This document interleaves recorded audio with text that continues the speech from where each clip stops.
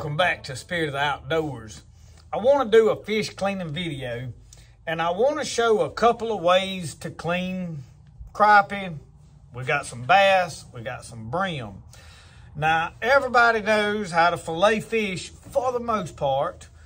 Electric fillet knife. Now, y'all, for a long time, I have been a fan of just old bread knife. This thing has filleted a lot of grinnell and a lot of crappie. It is probably eight or nine years old, probably. Well, maybe not quite that old. A good five to six. And it has filleted a lot of fish. Uh, my dad bought this one, and I'm not as big on these curved blades, but I'm learning because I got to using this. I wanted to get to where if I needed to fillet crappie, but I've been playing with doing some filleting and I worked on a knife. Now, this is not a fillet knife. This is a kitchen knife, and I'm not sure it's like a, I don't know if it's a boning knife. Now, I put me a notch up here. That is for like at the camp, picking a pot up with by the bale off the fire. It'll hang right there. But I made me some scalers along the back, and I made them on the lines of my fish knife. Now, y'all know I am a fan of this fish knife. I have been pushing these. I we got a running joke that I done cornered the market on these. I'd never heard of a fish knife till my buddy Don Lanier messaged me one day and said, you seen one of these knives? I'm looking for one. If you see it, let me know. Well, I found, I, I never found any, so I got on eBay, was looking, and you could buy this queen knife for like 19 to $20. So I ordered me one. Actually, I got this one for $17 at Smoky Mountain Knife Works. Smoky Mountain, I don't think has the queen anymore. You can get a Rough Rider. Well, the Rough Rider is just the, the, the filleting thing is more of a saw than it is a fillet. This one, you can see it's real smooth and tapered down. Now I've got a couple, uh, I've got a case that, that Miss Mary sent me. I've got this queen. I've got a imperial and I have a saber. And, you know, I mean, I fell in love with them. So what I wanted to do, and y'all have seen me already using this fish hook remover, popping them hooks out, if, if this is the way to go. And it ain't that it's like a better hook remover than anything else. It's that I've got this in my pocket. If I'm fishing, this is in my pocket. So when I get over there, if I've got a, a real nice hook remover, and I do, I've got some with a grip, trigger sticking there. I mean, they're excellent. They're better fish hook removers than this. I said that, okay? It's better than this. But when I need it, it's over yonder in the bag, and I'm over here on the bank with the fish in my hand, reel. I mean, y'all y'all know the scenario. If you're in the boat, it's over here in the tackle bag. You know, usually I ain't dug that out yet, and this is in my pocket, and that's why this is better. And, and I always got it and it works. So what I wanted to do today is show cleaning some fish with it because I hadn't really got down. I had some people tell me, oh, spoon's the way to go. And y'all, I'm, nothing wrong with using a spoon. I grew up using a spoon. A spoon was the first thing I ever scaled fish with. After the spoon, I went to this thing. And I liked it, y'all. It works good. My problem, only problem with this, this scales wonderfully. Takes the scales off. My problem with it is those scales fly everywhere. Well, you see, I'm right in here at my cleaning station in my cleaning shed. Oh, and, you know, my dad built this. We put a drain of floor to clean, to clean mainly deer and such as that.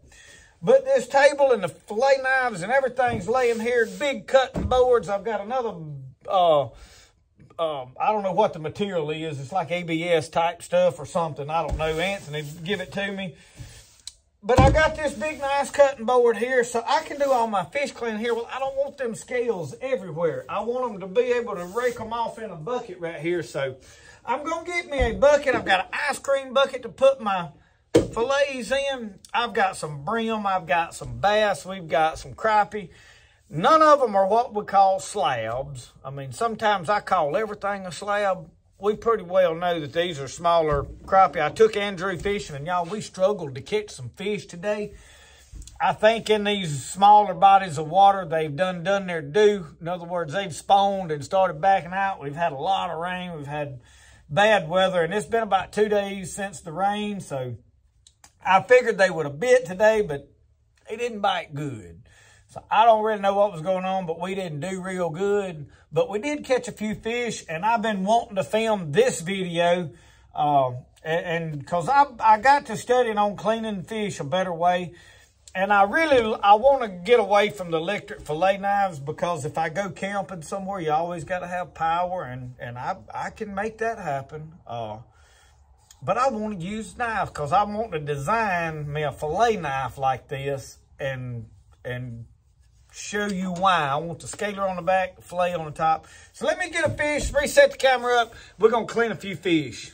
All right, y'all. So we got a crappie and he's probably barely 10 inches long. Uh, and I don't know that this knife, I have actually only skint a few with this knife. So what you do is uh, you go under this fin and you cut it an angle right here and then take your knife and you can feel these fillets, them, I mean them ribs.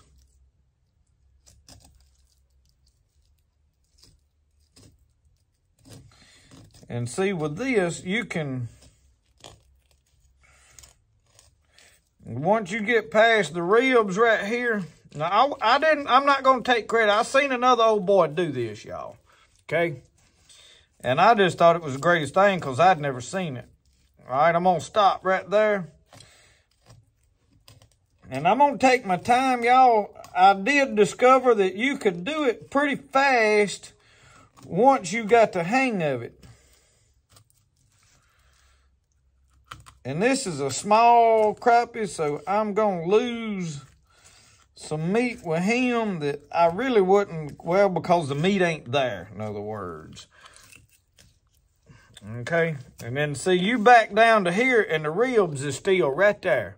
There's no ribs in this, and you got what meat comes down here. So with a, a big slab hand-sized filet, you're going to get everything. So now I'm going to pull this over the edge of my table. And if you want to scale it slam off, you can do that as well. But y'all, once you get practiced up, I'm, I'm honestly, you can just about get that fillet out right there as fast as I can with these electric fillet knives. I, I'm not kidding. I really didn't think that. And the reason I am telling y'all all this is I, I got to go get me a bucket. But I've struggled to fillet with a hand knife. I can take this electric fillet knife and go bzzz, ribs and everything out down to here, flip it over and bzzz, and but now I usually wind up losing a lot of meat on one side or the other, on especially on these smaller fish. Well, this, I, I'm telling y'all, I got all the way down to everything on that. Let me get me a gut bucket. We keep all our gut buckets outside because you know how they get to they get to smelling right. Okay, now, next thing I wanted to show you, and we're going to do this other side a little bit different.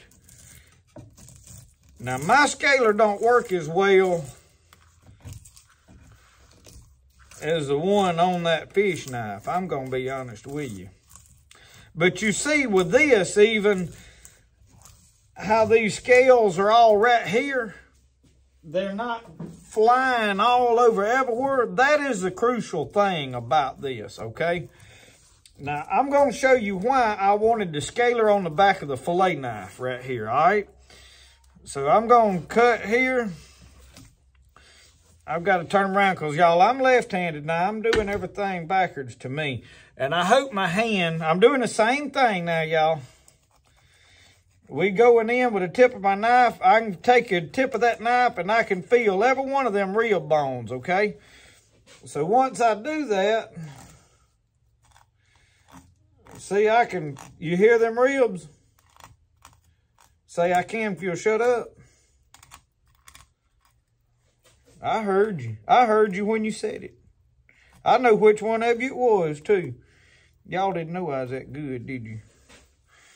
All right, I'm, I'm, this one's backwards, so, and you see them eggs. I say that they had done their due, but y'all, they ain't either. I thought, man, them things had done laid their eggs, but them eggs is still small in these. But now them big ones have probably have done done what they is going to do. All right, now once I'm cut through over there, I'm going to do this. Okay, now, I'm going to have to use this other hand. I'll probably make a mess since I am. I'll tell you what, I'm going to turn it around. See, now you got a fillet there with the skin on it. And there's a lot of folks, I know some of you may not, but there's a lot of people that, man, I like that skin. So uh, I'm gonna try to do some a little, little more swift. Like I got one here. So what I'm gonna attempt to do is I'm gonna clean one now with my fish knife, okay? And I'm going, I want to, I want to scale it. And these brim, this is the reason I am not, a, you see how them scales are staying right there and I can rake them right off that fish. Y'all, that is why I love this scaler. This scaler is where y'all, I looked up and my dead blame phone had cut off. Uh, storage was full. I didn't film way too much stuff. So we're going to go through this again with this, all right? I had to go get me a gut bucket anyway, throw everything in. I don't know what it filmed and didn't film now.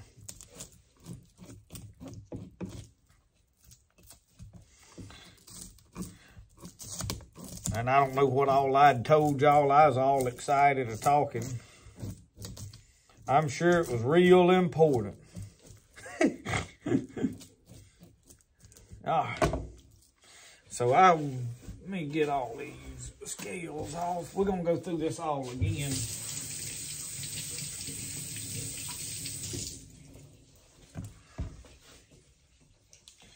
And I'm going to try to do it a little more swift.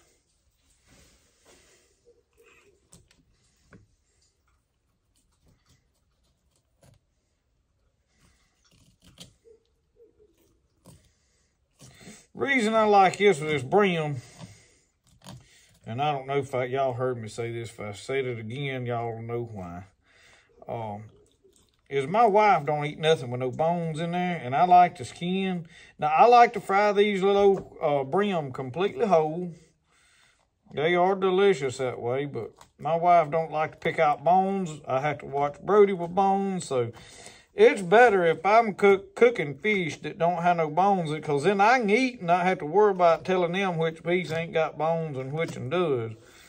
You know what I mean, Vern? And you get faster as you go, but, I mean, there's a, a small brim fillet. See if I can do it with the other side.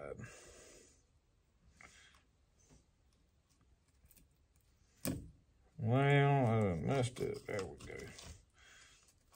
I know what I did wrong. I didn't cut right there first, did I?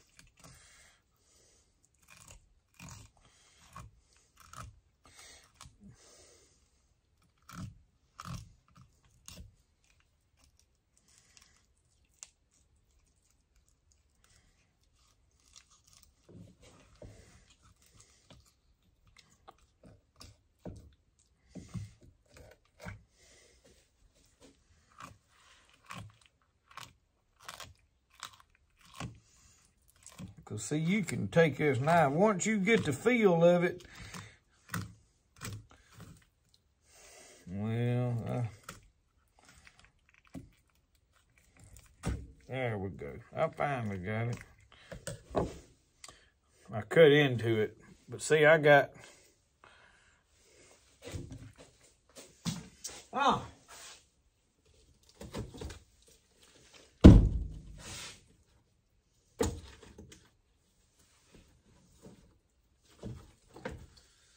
Let's do a little bit better fish. This is probably the best fish we caught, really, uh, I'm gonna see if I can absolutely fillet with this little fish knife.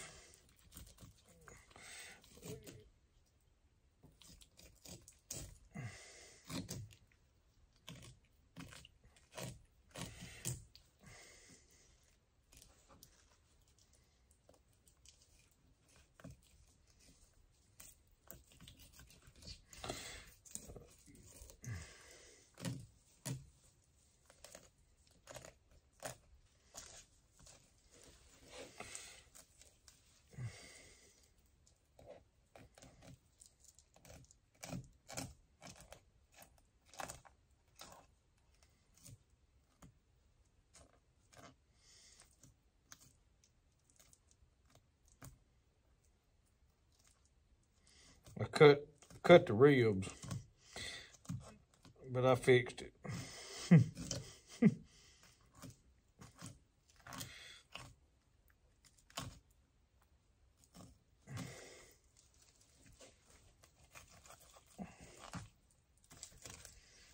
okay. See if I can cut this fillet slim out.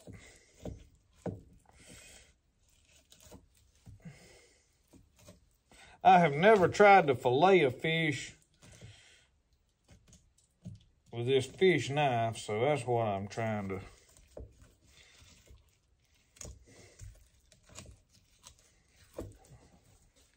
I lost a little meat trying to do it. I think you're better off with the fillet knife. So let's see what we got here. Come on.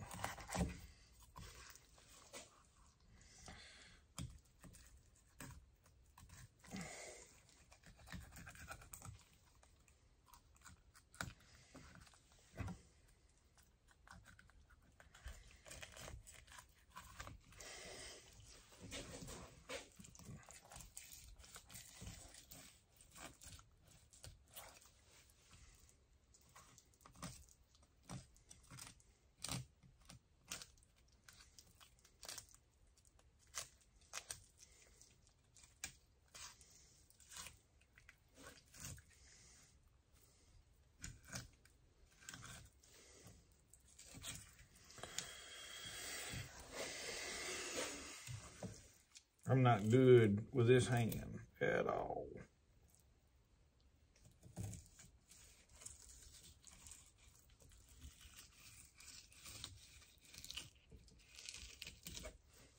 But we get get the whole fillet.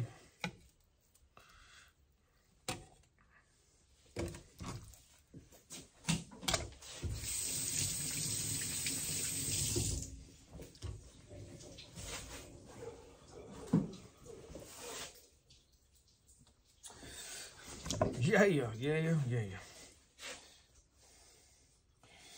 So really what I'm what I'm enjoying about all of this, these smaller fish, I want to scale them and then cut that fillet off. That is what I'm after. So on these crappie, you see I'll have skin on, on my fillets, and that's what I was I ain't as proficient at it as some boys that's been doing it, this method over and over and over.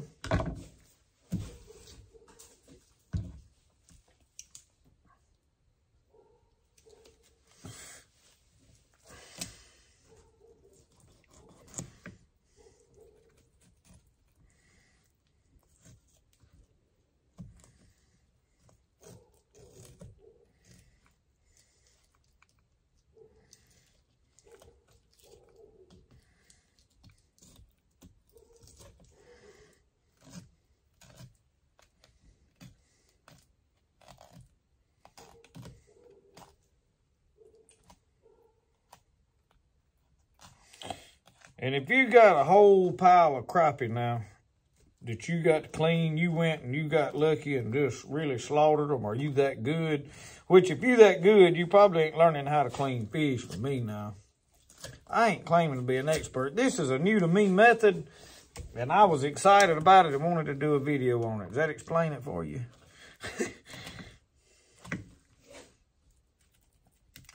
Just because I wanted you to know how to do it.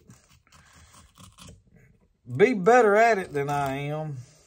I'm a little slow.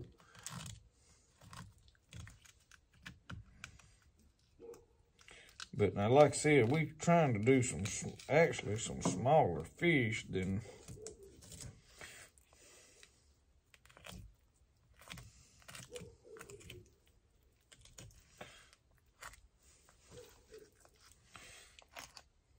I have to turn them around where I can see, I, and that gets me out of the camera, but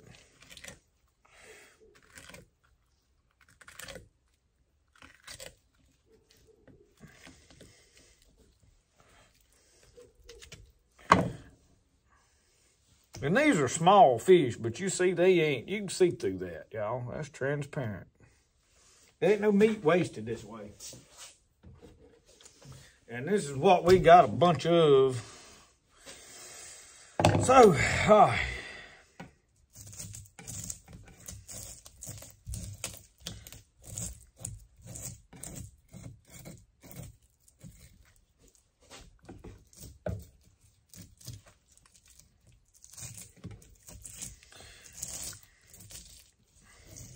I believe my old scaler's gonna work all right, actually. Because this is a knife I'm probably gonna mainly use to do what I'm doing. I just love that fish knife. I wanted to see what all it'd do.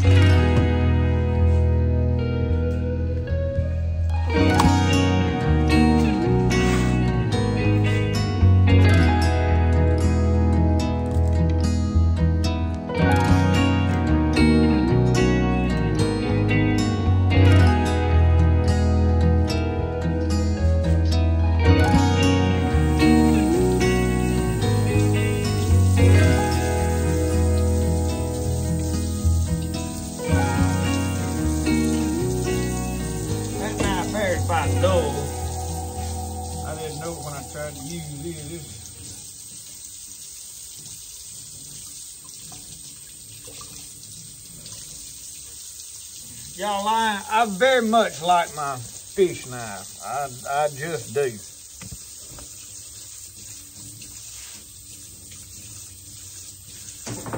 You may not like it as much as I do. That's all right too.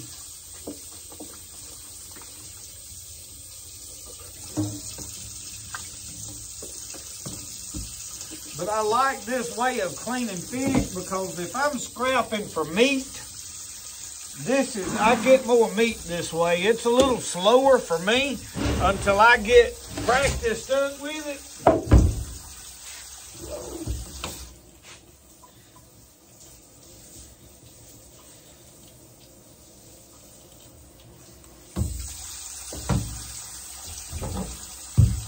Show y'all how I take care of these boards right here.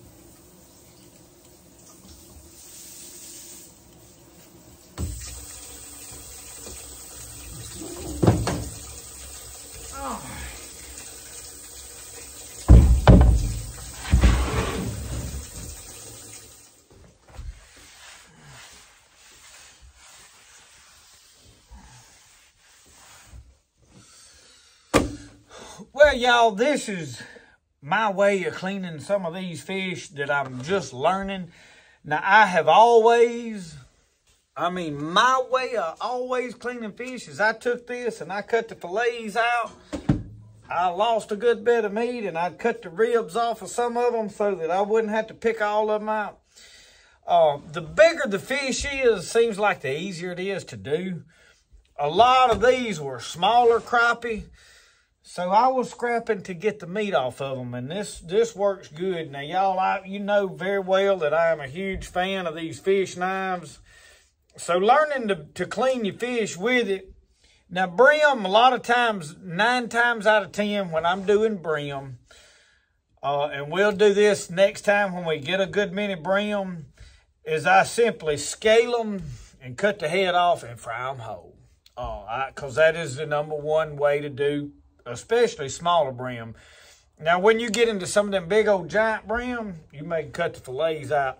The electric fillet knife makes filleting things a whole lot faster. So, yeah, if I come up here and there's been two or three of us fishing and we've got 60 fish we need to clean, I'm going to just go to ripping fillets out with electric fillet knife, okay? Uh, I'm not in here trying to argue and tell you, hey, this is the best way to do things.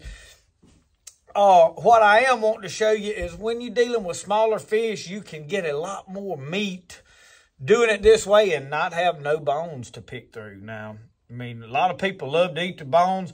A lot of times when I cut the ribs out of bigger crappie, I'll fry those ribs because I'll eat around them. I don't mind it. Um, but I do it, like I said, because of my wife and because of Brody. They both want to get the I don't need them digging around bones. Michelle don't, she don't like bones and Brody don't need to. I don't need him to swallow one. So anyway, this is just a, and I probably didn't do a great video, y'all, on this because honest to God, I'm not that good at this method yet. I just wanted to share it with you before this fishing season is over. I will be good at it because that's the way I'm going to do a lot of these smaller fish especially when I just catch what I'm going to eat. And, and a lot of times, this is me doing fish right here, just enough to have a little fry and be done with it. Um, I don't try to seine the creek every time I go. So thank y'all for watching Spirit of the Outdoors. Remember, the best way to do things is the way you like to do it. We'll see y'all. Y'all have a good one.